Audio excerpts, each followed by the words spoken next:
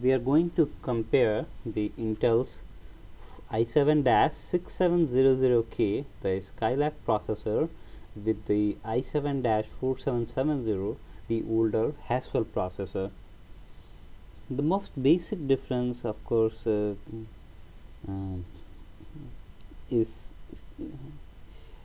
is the clock frequency. Of course we have 4 gigahertz versus 3.4 gigahertz and that's going to drive up the Skylake performance but not to the extent that we may think of. And the reason for this is the turbo clock frequency is not that substantially different 3.9 gigahertz versus 4.2 uh, gigahertz. Now these two processors uh, both of them came with the same uh, 8 MB of cache memory so that's not going to make any difference between these two and they both of them are quad core processor. They both of them support the hyper threading. So most of these differences come because of the, the two things. One the clock frequency difference. And second the improvement in the architecture of Skylake and Skylake also comes with a newer lithography 14 nanometer versus 22 nanometer. So Intel is able to pack more uh, transistors in a given area with this technological manufacturing improvement. Uh, before we go to the benchmark, let's take a look at a couple of more things. One of them is the support for the DDR4 memory in the newer Skylake processor.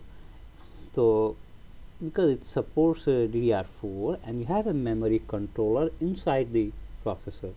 So, you cannot uh, just drop in that processor to DDR3 and to DDR4 we will have two different motherboards for DDR3 and, and since it also supports earlier DDR3 as well so we have two different motherboards one for DDR3 other for DDR4 you cannot insert DDR3 memory in DDR4 socket DDR3 works at lower voltage so at 1.2 voltage DDR3 works at 1.5 volt so you get some power saving because of that uh, then as of now we don't see any performance improvement as we move from DDR3 to DDR4 so it's all about the power savings as of now.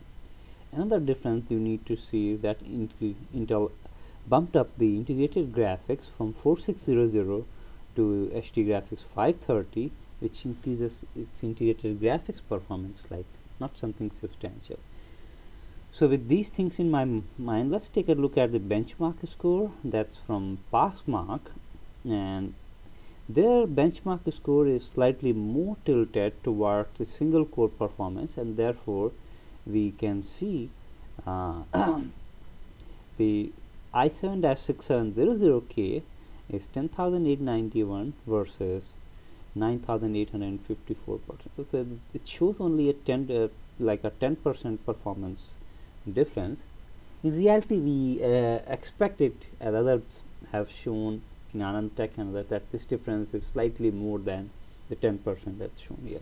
But this is a ballpark number and we know that this is resulted uh, slightly from from the processor architecture improvement and a little bit from frequency improvements. Thanks for taking a look at